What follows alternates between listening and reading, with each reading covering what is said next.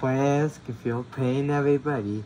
Arguing it, nonsense is wrong, everybody. We have the right to eat anything. Oh, if you call me a vegan phobic donut, that's fine. As long as you shut up from now on.